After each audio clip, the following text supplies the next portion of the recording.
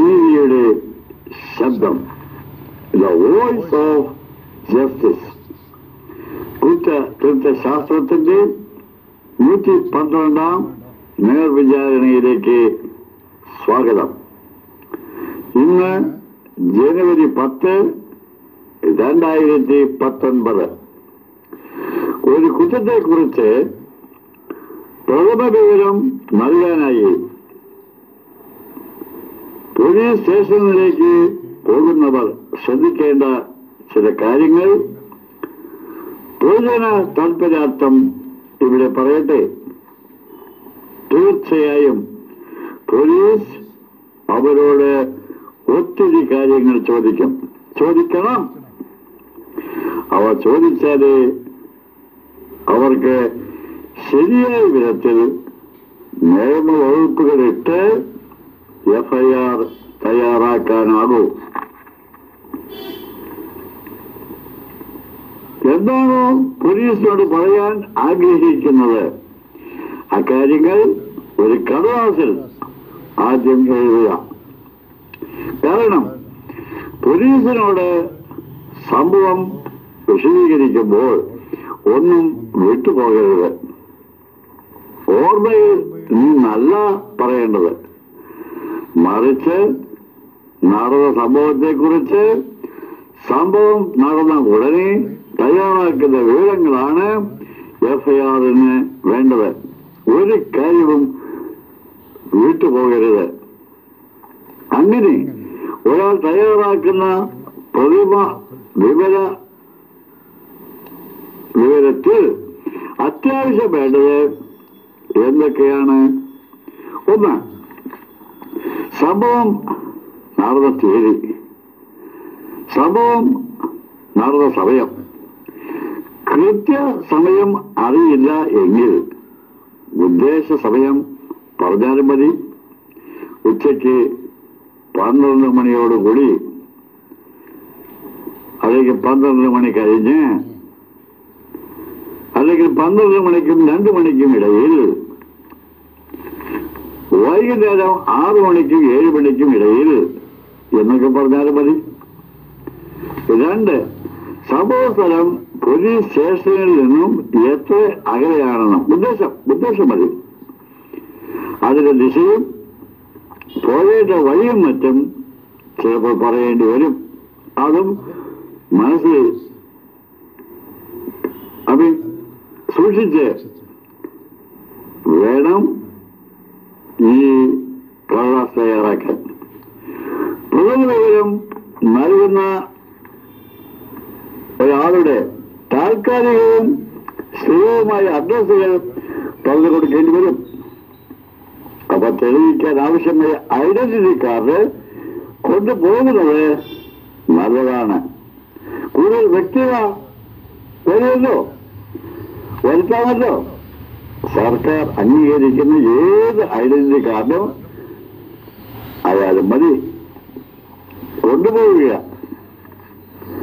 മൂന്ന് പ്രതികളെ അതായത് കുറ്റാരോപിതരെ നേരിട്ട് കണ്ടിട്ടുണ്ടെങ്കിൽ നേരിട്ടറിയാമെങ്കിൽ അവരുടെ പേരും അഡ്രസ്സും പോലീസിന് കൊടുക്കേണ്ടതായി വരും. മറ്റുള്ളവർ പറഞ്ഞു കേട്ടതാണെങ്കിൽ അക്കാര്യം അങ്ങനെ തന്നെ പറയണം. സംശയം മാത്രമേ ഉള്ളൂ എങ്കിൽ അത് വ്യക്തമായി പറഞ്ഞിരിക്കണം. സംശയം മാത്രമേ ഉള്ളൂ എന്ന്. നാല് സംഭവം എങ്ങനെ ഉണ്ടായി എന്നുള്ള വിവരണം അത്യാവശ്യമാണ്. ഇവിടെ ഭാവനയോ ഊഹാപോഹങ്ങളോ ദയവ് ചെയ്ത് എഴുതി വയ്ക്കരുത് സംഭവത്തെ അതീവ ഗൗരവമാക്കാൻ ഊതി വീർപ്പിക്കാൻ ഒരിക്കലും ശ്രമിക്കരുത് പർവ്വതീകരിക്കരുത് സത്യം സത്യമായി തന്നെ പറയുക സത്യം ജയിക്കണം സത്യം മാത്രം ജയിച്ചാൽ മതി മുഴുവൻ പറഞ്ഞ കാര്യങ്ങൾ എല്ലാം എഴുതി തയ്യാറാക്കിയാൽ ആ പേപ്പർ എസ് എച്ച് ഒ അഥവാ സ്റ്റേഷൻ ഹൗസ് ഓഫീസറെ ഏൽപ്പിക്കുകയാണ് വേണ്ടത് അതിൽ പറഞ്ഞിരിക്കുന്ന കാര്യങ്ങൾ വായിച്ച ശേഷം അദ്ദേഹം ചോദിക്കുന്ന ചോദ്യങ്ങൾക്ക് ഉത്തരങ്ങൾ നൽകുക. സത്യസന്ധമായി നൽകുക. ആത്മാർത്ഥതയ്ക്ക് ഇവിടെ വലിയ സ്ഥാനമാണുള്ളത്. പോലീസ് സ്റ്റേഷനിൽ പോയിട്ടില്ലാത്ത ഒരാൾക്ക് പോലീസുകാരുടെ പെരുമാറ്റം അത്ര ചിലപ്പോൾ ജയിച്ചെന്ന് വരില്ല. സ്വീകാര്യമായി തോന്നണമെന്നില്ല. അവിടെയുള്ള പോലീസ് ഉദ്യോഗസ്ഥരെ എല്ലാം നല്ല പെരുമാറ്റക്കാരായി മാറ്റി നല്ല പെരുമാറ്റം പഠിപ്പിച്ച ശേഷം ഒരാൾക്ക് എഫ്ഐആർ രജിസ്റ്റർ ആകില്ല രജിസ്റ്റർ ആക്കാനാവില്ല എന്ന് അറിയുക.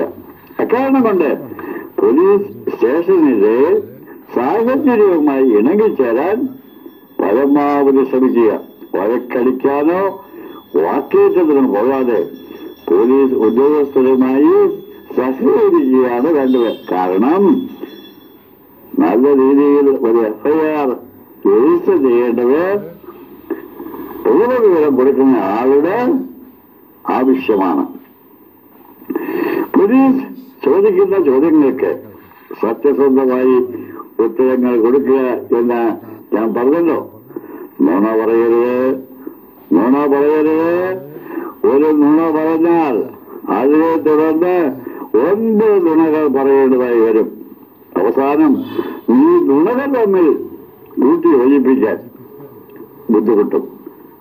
യോജിപ്പിക്കാൻ എത്രയെത്ര സ്ഥിതിവിശേഷം ഉണ്ടാകും? പോലീസിനെ സംശയം ജനിക്കാൻ അത് കാരണവുമാകും. പോലീസ് ചോദിക്കുന്ന ചോദ്യങ്ങൾ ചിലപ്പോൾ ചിലർക്ക് ചൊറിച്ചിൽ ഉണ്ടാക്കുന്നവരാകാം ചിലപ്പോൾ അധികം വിളിക്കുന്നവരാകാം ഒരിക്കലും അതിന്റെ പേരിൽ ശണ്ട കൂടരുത് വഴക്കടിക്കരുത് വാക്കേറ്റം ഉണ്ടാവരുത് പ്രഥമ വിവരം കൊടുത്താൽ പ്രഥമ വിവരം കൊടുക്കാൻ ചെല്ലുമ്പോൾ പോലീസിന് ഒരു മേൽക്കൈ ഉണ്ട് എന്നറിയുക അതുകൊണ്ട് തന്നെ അവർക്ക് പ്രശ്നങ്ങൾ ഉണ്ടാക്കാനാകും. നിസ്സഹായരായി അവരുടെ മുമ്പിൽ നിൽക്കുന്ന ഒരാൾക്ക് എന്ത് ചെയ്യാനാകും? അതുകൊണ്ട് വികാരമല്ല ഒരാളെ നയിക്കേണ്ടത്. വിചാരമാണ്. ഒരാളെ നയിക്കുകയും നിയന്ത്രിക്കുകയും ചെയ്യേണ്ടത് എഫ്ഐആർ തയ്യാറാക്കിയ ശേഷം അതിൽ എഴുതിയിരിക്കുന്നതെല്ലാം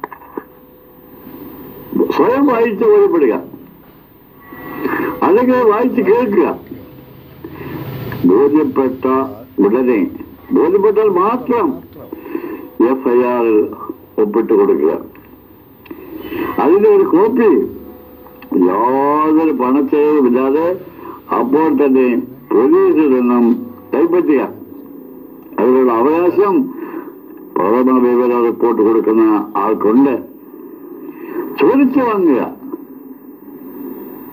ചോദിക്കാൻ മറക്കരുത്.